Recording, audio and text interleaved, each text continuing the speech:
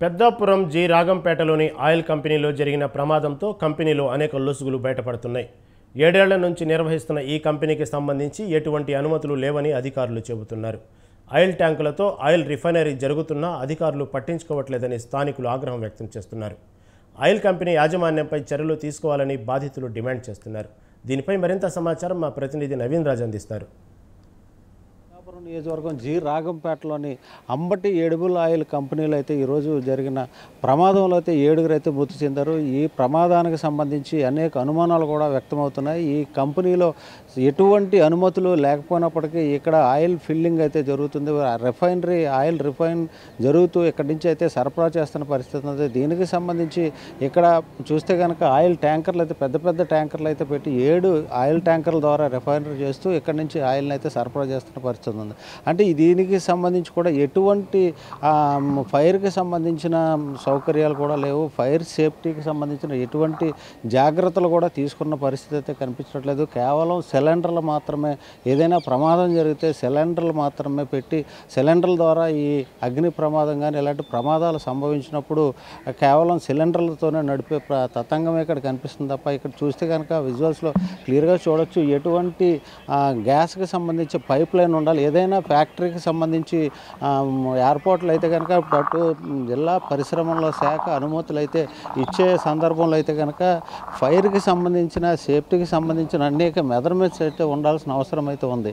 అంటే ఇప్పుడు ఫైర్కి సంబంధించి ఒక భారీ ఎత్తున అయితే పైప్ లైన్ చేయాలి. ఇదే ఈ ఫ్యాక్టరీలో సుమారు వంద మందికి పైగా ఆ కార్మికులు అయితే పనిచేస్తున్నారు. మనం ఫ్యాక్టరీ పరిస్థితి చూడొచ్చు.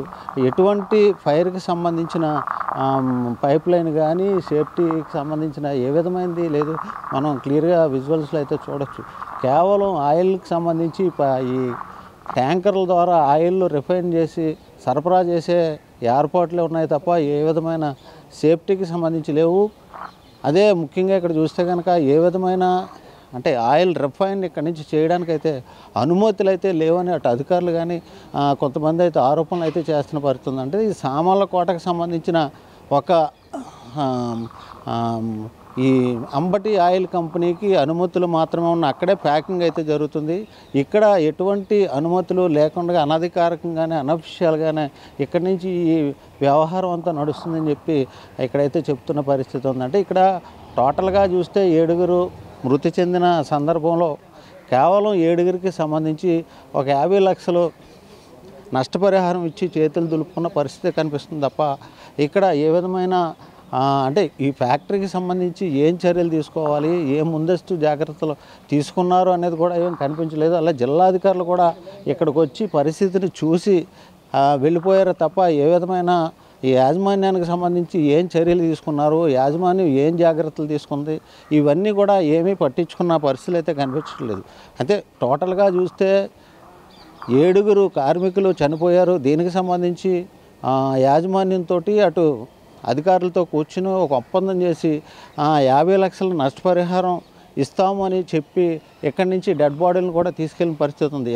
టోటల్గా చూస్తే ఈ కంపెనీకి సంబంధించి ఎటువంటి అనుమతులు లేవు. ఫైర్కి సంబంధించిన ఏ విధమైన సదుపాయాలు లేవు అన్న విషయం మీద అయితే ఏ విధమైన చర్చ అయితే నడవడం లేదు దీనికి సంబంధించి జిల్లా యంత్రాంగం దీని మీద కూలంకషంగా దర్యాప్తు చేస్తే అనేక లొసుకులు బయటపడే పరిస్థితులు అయితే ఉన్నాయి. ఇది తాజా పరిస్థితి. కెమెరామెన్ సురేష్తో నవీన్ స్వతంత్ర న్యూస్ పెద్దాపురం నుంచి.